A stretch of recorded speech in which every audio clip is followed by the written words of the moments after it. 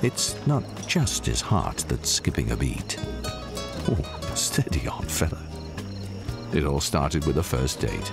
Sensimar Couples Hotels by Thomson sponsors first dates.